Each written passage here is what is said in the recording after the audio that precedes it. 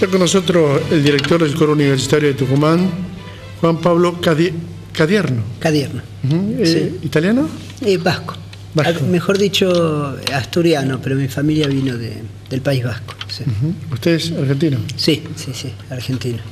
Cuénteme un poco su vida. ¿Estudió dónde?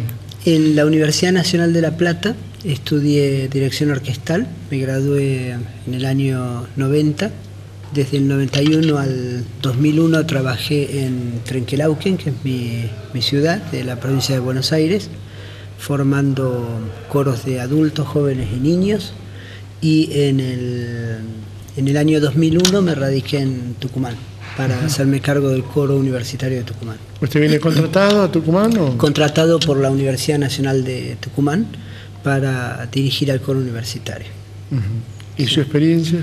Mi experiencia es, eh, digamos, en el área docente, en el área mm, de la dirección coral y de la dirección orquestal.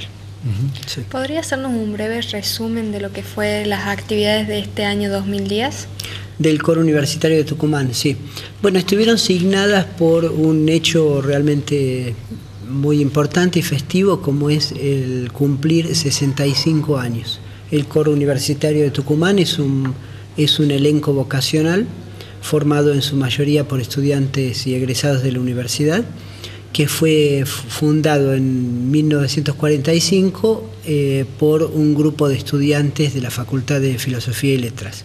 A partir de ese momento, e ininterrumpidamente, el, coro desarrolló sus, sus actividades en, el ámbito de, la vida universitaria y es el elenco más, más antiguo y que conserva además su perfil vocacional. Es decir, el único profesional del coro soy yo. ¿Y cuáles son los proyectos para este 2011? Eh, los proyectos para el 2011 son eh, básicamente grabar un, CD con eh, obras que hemos cantado en el 2010 que no, que no se han grabado, sumadas a grabaciones profesionales de los últimos 10 años, de manera de tener un registro que nos permita tener un documento y a la vez difundir la actividad del coro.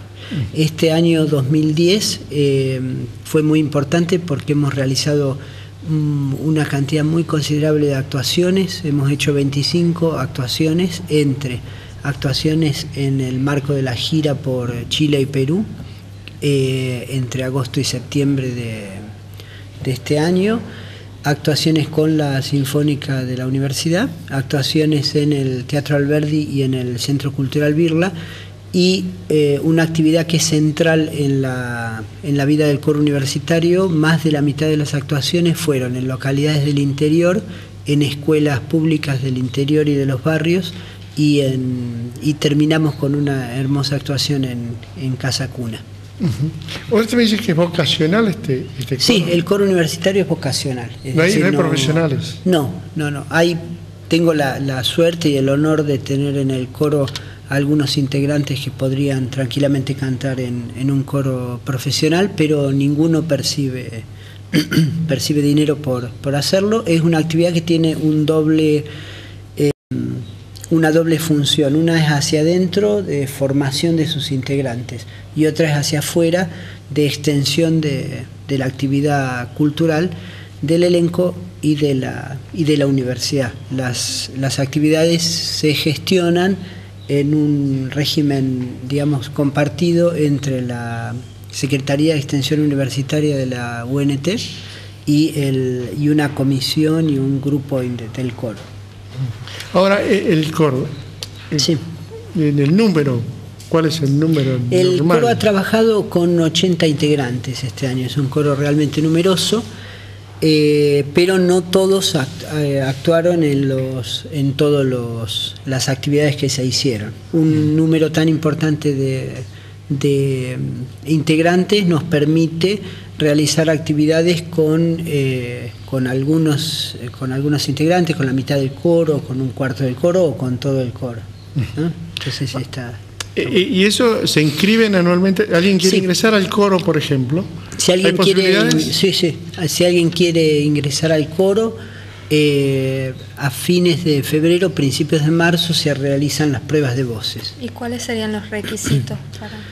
El principal es tener ganas de cantar y de aprender y de hacerlo seriamente, ya que el coro exige tres ensayos por semana, que es bastante para un coro vocacional, eh, y tener, digamos, eh, bien la voz y tener un nivel de entonación bueno, pero no se requiere saber música, ya que se va aprendiendo ahí.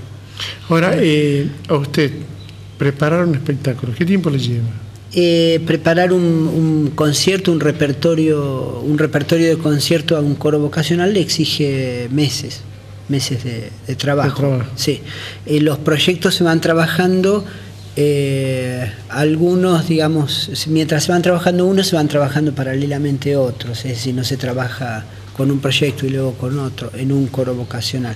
Entonces nosotros tenemos como hacer proyectos sinfónico-corales, proyectos a capela, dentro de los proyectos a capela repertorio de música clásica y repertorio de música popular, entonces lo vamos trabajando un poco todo paralelamente. Para terminar, eh, este eh, en el 2011, sí. usted me dice grabar un, CD. Sí. ¿Y cuál es la idea del CD? ¿A dónde llegar?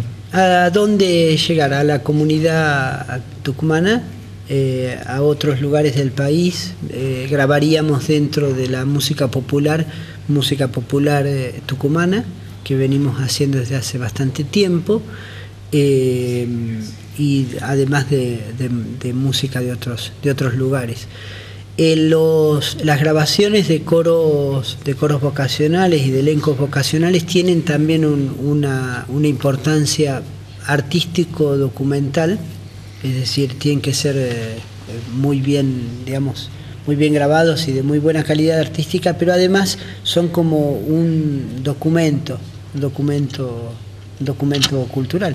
Claro, te agradezco muchísimo. No, muchas gracias y feliz año para ustedes y su audiencia. Gracias a usted. Bueno. Hacemos una pausa y ya volvemos para el final.